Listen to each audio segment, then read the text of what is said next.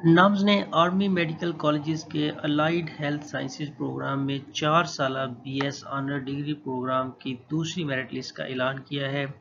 چار سالہ B S honour degree programme medical imaging technology یعنی ایم آئی ٹی چار سالہ پروگرام، اس میں جو سیکنڈ میرٹ لسٹ ہے اس کا اعلان کیا گیا ہے اور پہلی اور سیکنڈ میرٹ لسٹ میں جو میرٹ ہے وہ بہت حد تک ڈراپس ہو چکا ہے۔ دوسری میرٹ لسٹ میں میرٹ کی ڈیٹیل کیا ہے۔ لاسٹ کلوزنگ میرٹ کیا رہا؟ اس تفصیلات ہم آپ کو اس ویڈیو میں بتائیں گے۔ آپ دیکھ رہے ہیں انوویشن چینل ایجوکیشن کے حوالے سے جاب کیریئر کے حوالے سے۔ ہمارے چینل کو سبسکرائب کریں۔ اگر ابھی تک آپ نے سبسکرائب نہیں کیا، تو سبسکرائب ضرور کریں۔ سبسکرائب کرتے ہوئے بیل کے بٹن کو ضرور پریس کریں۔ اپنے دوستوں کے ساتھ بھی شیئر کریں۔ بیل کے بٹن کو پریس کرنا اس لیے ضروری ہے تاکہ جو ہی لیٹسٹ انفارمیشن اپلوڈ ہو، فوری طور پہ آپ کے پاس پہنچ سکے۔ یہ دوسری میرٹ لسٹ ہے جو آٹھ جنوری دو ہزار انیس کو جس کی اناؤنسمنٹ ہوئی ہے، یہ B S honours M I T session دو ہزار اٹھارہ دو ہزار انیس کی میرٹ لسٹ ہے۔ اسی میں ہم آپ کو بتائیں کہ ٹوٹل پندرہ کینڈیڈیٹس تھے جو پہلی میرٹ لسٹ میں سلیکٹ ہوئے تھے۔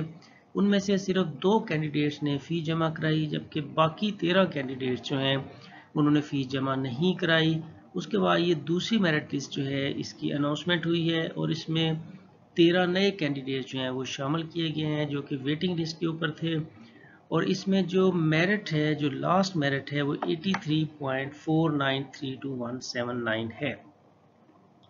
یعنی B S honours M I T میں جو کلوزنگ میرٹ ہے 83.493217 ایسے کینڈیڈیٹ جن کے اس میرٹ لسٹ میں نام ہے اور وہ B S honours M I T کرنا چاہتے ہیں تو ان کے لیے ضروری ہے کہ وہ گیارہ جنوری دو ہزار انیس تک فی جمع کرائیں اور اگر وہ گیارہ جنوری دو ہزار انیس تک فی جمع نہیں کرائیں گے تو ان کا ایڈمیشن کینسل ہو جائے گا اور جو نیکسٹ ویٹنگ لسٹ کے اوپر ہے ان کو چانس دیا جائے گا۔ فردر انفارمیشن کے لیے لیٹسٹ اپڈیٹ کے لیے ہمارے چینل کو سبسکرائب کریں، سبسکرائب کرتے ہوئے بیل کے بٹن کو ضرور پریس کریں، دوستوں کے ساتھ شیئر کریں، اپنا خیال رکھیں۔ اللہ حافظ۔